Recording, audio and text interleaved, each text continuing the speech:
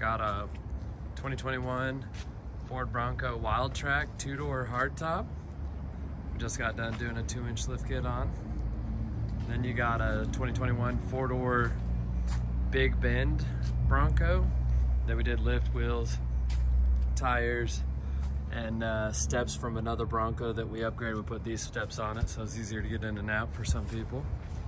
And then we got our two-inch lifted Ford Bronco with 37s, waiting on new wheels.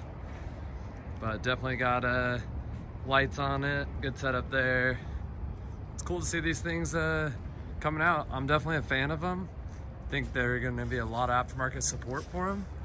But I'm super excited to really start getting a little more, uh, a lot more of them lifted, modified, set up, and really can't wait to start going ham on them, just like the Jeeps, and see them get fully tricked out front to back. So, yeah.